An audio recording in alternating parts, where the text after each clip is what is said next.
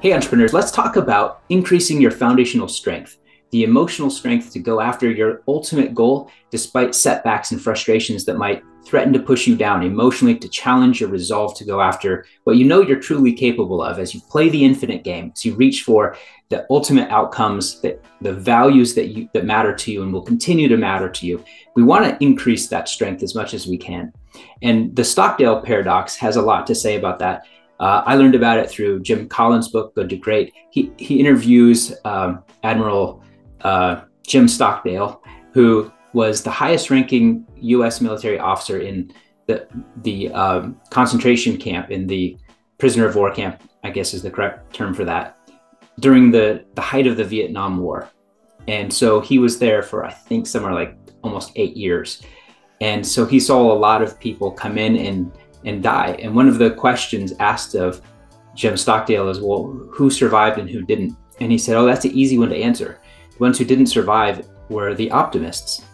And so that might seem a little odd to you. You know, when you think about the the way psychology and our physiology interact, it seems like usually the optimists have less stress or more relaxed. But here's the problem is that in a condition where there's a lot of repeated setbacks and hardship, optimism can actually knock you down. It can cause you, it can be a short term mentality that doesn't give you the strength you need to make it in the long term. So here's what Jim Stockdale said about why optimists didn't survive. They didn't survive the hardship, the torture, and some of the things that people had to go through because they would tell themselves things that would build up this short term expectation that would then lead to a crushing defeat when it didn't come to pass. They would say, Oh, we'll be out of here by Christmas. And Christmas would come and go, and they weren't released. And then they'd start saying, Well, by Easter, surely, like, I know it, we're going to be out of here by Easter. It would come and go. We'll be out of here by Thanksgiving. It would come and go. And then next thing they're back to Christmas again. And the weight of depression of, I can't fool myself anymore. I just, I don't think we're ever going to get out would crush their spirit and their body would give in and they wouldn't make it out they wouldn't be able to survive because they were too optimistic about the short term and they weren't strong enough in their mentality. And this is what Jim Stockdale says allowed him to survive.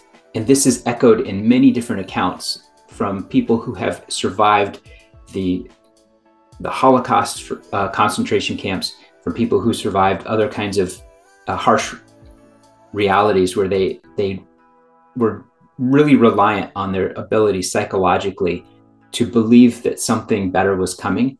The difference, according to Jim Stockdale, is that he knew he had absolute faith that he would eventually get through this. He didn't know when, though, and he didn't worry about that. He just had absolute confidence that this would be a part of his, a chapter of his life, part of his story that would lead to great things that he had planned for his life. And he didn't need to worry about is it going to be this week or next month? Because he knew that he had unwavering faith that he would get through it. And that gave him the psychological strength versus the people who were connecting success this week or this month or by this point to their overall sense of whether they were winning in life. It crushed them. So here's the lesson for us as entrepreneurs for when you guys are working on going after a goal, don't get too connected to optimism about this is going to be the campaign that works this is going to be the employee that finally fixes this problem. Don't get into that mentality. Play the long game. Use that forever perspective, the infinite game concept, where you say, you know what, these are the these are the the strategies, the values that we're going to employ, and they will eventually cause us to succeed. And we have no idea how many setbacks and when those setbacks will come. We just know that we're going to succeed because we are investing all of our faith and all of our, our actions into these long term plays. And that is where we're going to derive the foundational strength that we need to press on, regardless of what ups or downs happen. So, this is similar to the concept I shared with you before that I call it high attachment.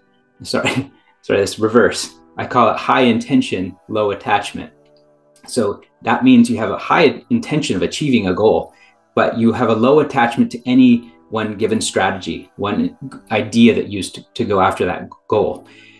And so what, what you do is you lower your your attachment and your stress because it doesn't really matter if this thing we tried today crashes and burns and turns out to be a failure because well we're attached to the intention that we're going to succeed not to this particular strategy or person or method or timing is going to succeed. So this gives you strength. It sounds kind of backward, and that's why it requires a little bit of explanation. This is part of peak performance psychology for entrepreneurs, and it's one of the pieces that's a little bit trickier, not as easy to grasp. But I challenge you to try to take this idea and internalize it. See if you can find yourself thinking about something that you're feeling disappointed about or frustrated about and transform that by re-engineering the filter you're looking through such that you have that high intention low attachment perspective that you're not being an optimist about the short term but rather putting your faith into a long-term goal that you're going to pursue. I'm grateful for the opportunity to work through these ideas with you on your entrepreneurial journey. Talk to you again next week